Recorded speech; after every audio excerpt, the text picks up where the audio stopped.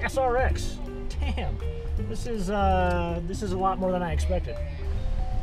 I'm digging this. I'm digging this quite a bit. Yeah, I'm in Orlando here to visit family for the week, and I reserved a Ford Taurus, but I'm in this Cadillac SRX. Not bad. All right, so how do I turn the fan down? Let's see here. Yeah, there we go. Holy cow, everything is touchscreen. There's no tactile feedback at all. It's just all completely smooth, and it's a little bit weird. It's intuitive, it works, that's cool. All right, I gotta text my dad, let him know that I'm on my way, and uh, we'll be good to go. All right, let's do this. This is a big ass car. I just need to find my way out of here. This thing feels like brand new. It's got, holy cow, it's got, uh, wait a minute, I should not be looking at the gauges and driving at the same time. This thing is nice. Holy crap. Damn, did they give me the wrong car or something? This is this is too nice. This is my first time at Orlando Airport, so it's a little bit confusing to me. Here we go. Oh, that's not so bad. Hello. Good. Is that one Pro? Yes. Nice. Yeah. I'm recording my uh, my experience with this car. Okay. I, ha- I have a YouTube channel for cars, so Oh, okay. yeah, yeah. All right, let's get situated here, and let's get out of here. I have no idea where I'm going. This isn't good.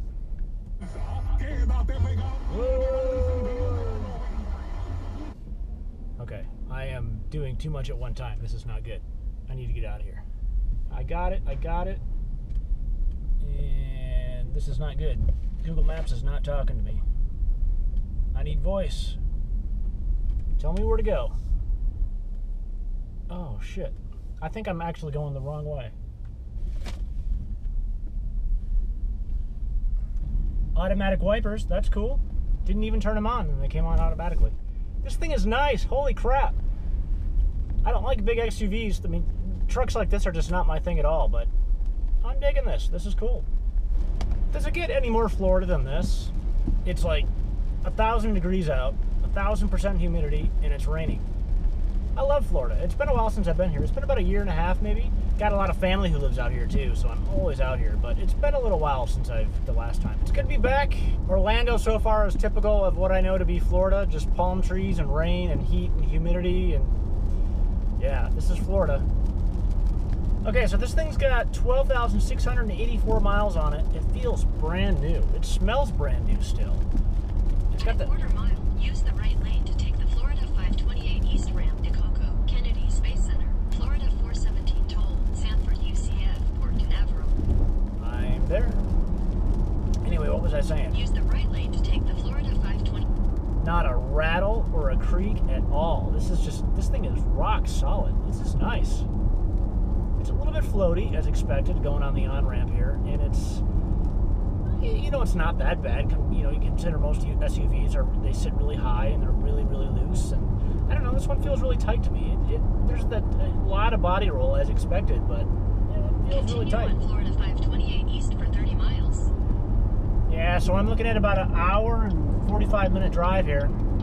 So I'll get to know this thing quite well. Should be a good drive.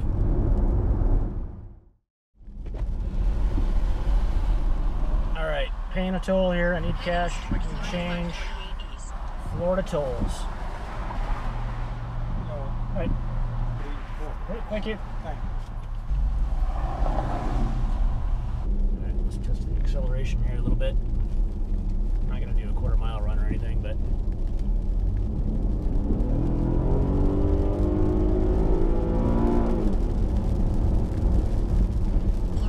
Roads are a little bit wet. That's a little bit annoying. Roads are a little bit wet, so I don't want to get too crazy with this thing, especially since it's not a sports car. But overall, this thing is really comfortable. I mean, it's a. I've only gone what maybe five miles so far, but it's a great cruiser. Just really, just buttery smooth. It tracks very well. I mean, it's a brand new car. All cars should track well, brand new, I think. But it just feels good. It, it really feels good. I I keep saying that I you know I'm not an SUV guy. SUVs are just not my thing. Holy pink Cadillac! Did you see that? Yeah, not an SUV guy. I just I, I I'm never excited to drive one, but this is kind of nice. This is I can see myself driving cross country in this thing. It's just a little bit too high for my tastes. It feels like a big ass truck. I don't know. Just can I lower the seat? No, that doesn't do anything. Nope, nope. I don't want to go back. I want to go down. There's got to be a way to go down. There, no, that's not it. Okay, there we go. How does that feel? Well, I just ruined my seating position here. It's a little better. Not bad. All right, snack time. I've been flying all day from San Diego. Started out at 4 a.m. this morning. Left the house. It is now 5:34 in the p.m. here in Florida, and I'm a little bit hungry. Not bad. Snacks. They're tiny though. Mustang coming up. White Mustang. Yeah, boy. What the hell? I've only gone maybe 10 miles, but there's another friggin' toll booth. I'm gonna be broke by the time I get to Port St. Lucie. Just whipping out them $1 bills. Caution, toll booth. I know. Hi. Thank you. All right, acceleration.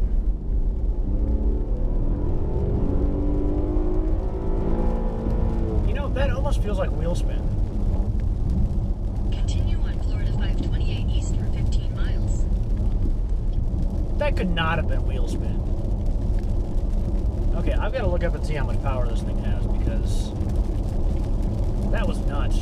Wasn't fast, it just felt like it was just spinning.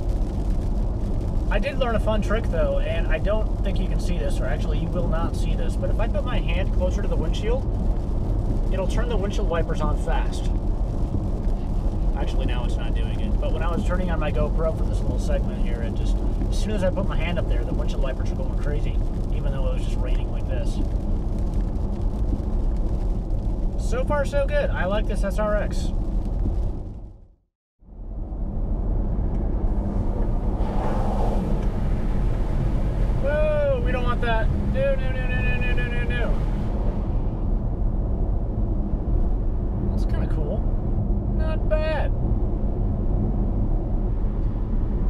Welcome to the wastelands of Florida. I don't know how much you're seeing in the view there, but there is just absolutely nothing in every direction. Oh, there's a little shack right there, but out there, just nothing. It's kind of nice to be out in the country, like out in the middle of nowhere.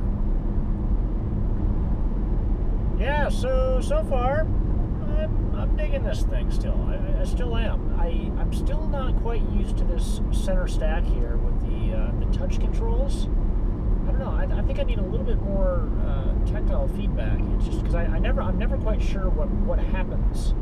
Even though it, it does have a little bit of, of, of the haptic feedback where you where you touch it, you get that little vibration just to know that you did something. But it's still it's not quite there yet. It's just I, I always have to look down to make sure I did what I wanted to do. And there's a lot of buttons over here on the door that I want to look at and play with, but I can't because I'm driving. Everything so far seems very intuitive. I just everything that I've needed, I've found. So far, so good. Still very comfortable. I've still got like what 75 miles to go still. I think. As far as I've gone so far, I, I really like this thing. Can't really say too much bad about it except for its size. I mean, I just don't like big cars, but that's no fault of this thing. It's just it is what it is. There's a rattle. I hear it. Can you hear it? It just sounds like it's like coming across the entire window here. It's like the windshield is loose or something. Maybe it's a windshield wiper. It's like a like a loose hollow metal rattle sound. It's quite annoying, actually. So I've still got about 50 miles to go, and I've been driving in and out of some pretty heavy rain. This thing handles it great. I, I have not driven in rain like that in a long time. Keep in mind, I'm from Southern California. We don't see rain like that. But um, this thing is, is not bad. I mean, it's completely confident and comfortable in the rain. It feels rock solid. It, in heavy, heavy downpours, I couldn't see 15 feet in front of me, and it just felt solid and, and planted. Uh, you know, being up high like that in the rain is kind of nice too, which is a good thing about an SUV, which I didn't really think about before. So that's kind of good. This thing is just smooth, and that rattle is driving me nuts. What the hell is that? All right, I think I figured out the source of the noise. It sounds like water. It sounds like there is actually water trapped somewhere in the track up here, or maybe around or around the windshield or something, and it's just getting blown around by the by the wind. It just sounds like gurgling water. And considering all the rain that I just drove through, it wouldn't surprise me that that's that that's what it is. But still, you know, you think a car of this caliber it'd be watertight. I think that's it. I think it. I think. I think. All right. Well, I got about 30 more miles to go, and I am losing light here. It's 6:30, 6:40, and uh, man, it gets it gets dark early here in Florida. But uh, anyway, I figured I'd just do a quick wrap up on this thing before it gets too dark and you can't even see me anymore.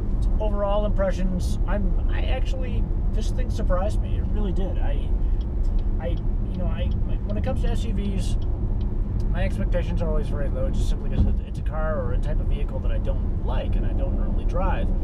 But I kind of like this thing. It just feels good. It just it, it doesn't feel too big to me. Uh, even going over a rough road like this, it doesn't seem like it's it's it's jostling around and it's, it's, it doesn't feel like it's all over the road. It just feels well, very well planted, which I really like. Uh, it's very car-like. It's just, it's just, it just, it just, yeah, I like that. It just, I've never really driven an SUV that, that feels like this.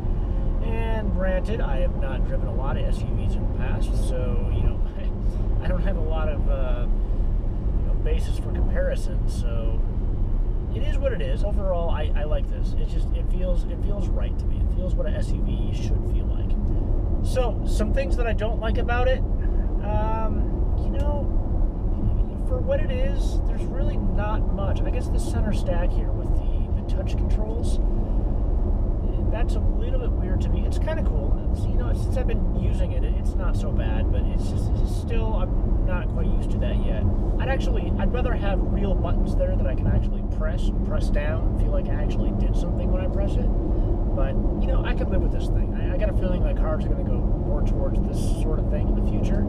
It's all touch control, you know, flush, smooth. And I'm, I'm cool with that. It's fine. It feels good. That water in the sunroof, that was driving me And I, I really think that was just water because I haven't hit any rain for the past 15, 20 minutes. And I think it all dried out and it just all blew away. So if you're in the market for an SUV, don't discount Cadillac. I think that's what I should be saying here. This is this is actually surprising. You know, if, before I got in this thing, if you would ask me what a Cadillac SUV was like, I would think, oh, you know, it's just. I know GM is making a comeback. I know their cars are getting better. I wouldn't put it on the same level as like a Lexus or an Audi or anything like that. But I've got to say, it, it, Cadillac really blew me away with this. I, you know, I'm not being paid to say this. I mean, this is. You saw it honestly. I just I went to Avis and they gave me this car, and it was just like, oh hey.